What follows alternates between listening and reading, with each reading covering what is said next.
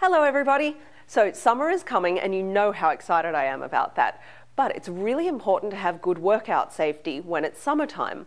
Now, we've all seen those crazy people out there going for nice long runs at noon. Personally, I recommend against it. I think if you're going to work outside in summer, probably the morning is your best bet because the air is cooler, the ground is cooler, and I really worry about people getting heat stroke and heat exhaustion and electrolyte problems and stuff like that from sweating too much when they're exercising when it's too hot.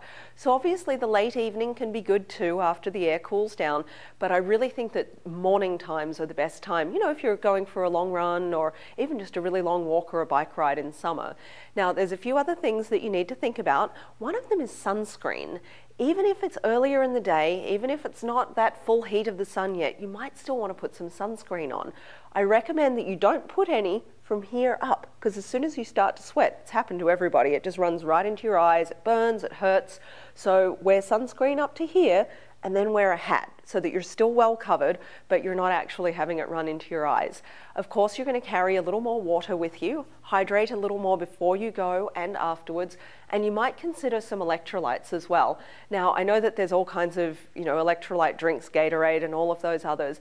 They tend to have a lot of chemicals in them. You know, all the artificial sweeteners or they're full of sugar. Either way, it's not good for you. Uh, food coloring and all that stuff. So have a look at your local store and see what they have in terms of like little electrolyte packets. You can even use just a few grains of sea salt. Just a few little grains in your water will help to keep your electrolyte balance so that you don't end up with a problem there. Um, you want to make sure too that if you are going out in the early morning, wear something that you're visible in. You don't want somebody who's half asleep, you know, driving by and knocking you off the road. So good visibility means either the clothes, you know, with the little reflective strips on them, or maybe you can be really safe and be like on a sidewalk or something where you're not sharing the road with the cars. So summertime is like the best time ever to go outside and play. I absolutely love it. But sunscreen, really good hydration, and be somewhere safe where you can be seen. And have fun out there.